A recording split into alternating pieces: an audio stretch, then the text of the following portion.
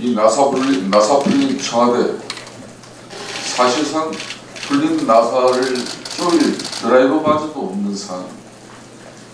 경호처 직원은 멀쩡한 시민을 폭행하고 어전 비서관은 만취해서 음주운전이나 특별감찰반 직원은 주말, 주말에 골프나 치르다 그런데도 이들을 관리 감독해야 할 민정수석은 국회는 안 나오면서 자기 정치하느라 SNS나 빠져있고 이러고도 나라 꼴을 잘 돌아가기를 바란다면 그것이 오히려 도둑놈 10%라는 점을 지적하지 않을 수 없습니다.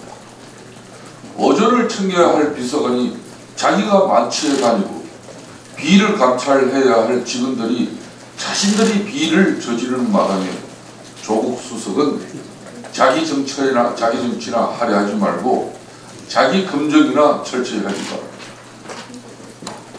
대통령께서도 대에서 SNS라 하면서 정의로운 나라를 만들겠다고 말로만 하실 것이 아니라 도로시는 대로 청와대 지만 단속부터 해주기 바랍니다.